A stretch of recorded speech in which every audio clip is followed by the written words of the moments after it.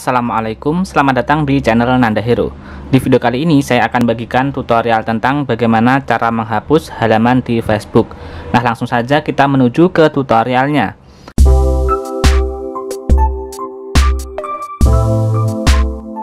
Di sini saya menggunakan Facebook Lite, maka saya buka terlebih dahulu aplikasi Facebook Lite. Setelah itu, silahkan kalian tekan garis tiga yang ada di pojok kanan atas. Kemudian silahkan kalian pilih halaman. Nah, di sini ada halaman yang saya buat. Lalu di bawahnya ini ada halaman yang batal diterbitkan. Nah, untuk menghapus halaman yang batal diterbitkan itu caranya mudah sekali. Kalian tekan titik tiga yang ada di sampingnya ini.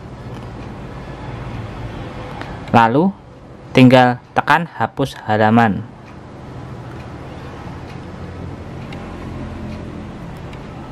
Lalu tekan tombol hapus halaman.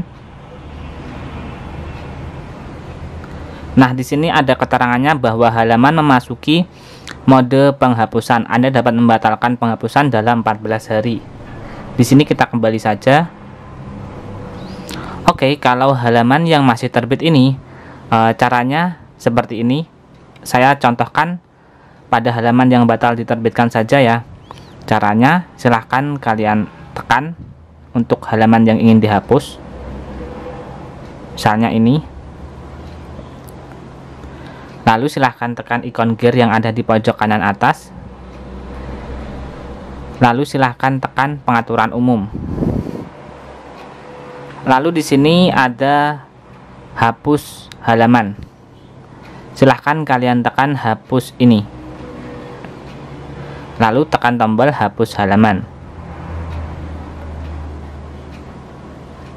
Oke jadi untuk cara yang kedua tadi caranya sama digunakan untuk menghapus halaman yang masih terbit. Oke kita refresh. Nah di sini untuk uh, halaman yang tadi sudah saya hapus sudah tidak ada ya teman-teman. Namun halaman tersebut masih bisa dibatalkan selama belum lewat 14 hari setelah penghapusan. Oke jadi seperti itulah video kali ini tentang bagaimana cara menghapus halaman atau fanspage Facebook Semoga video ini bermanfaat bagi teman-teman yang membutuhkan. Sampai jumpa di video selanjutnya di channel Nanda Hero.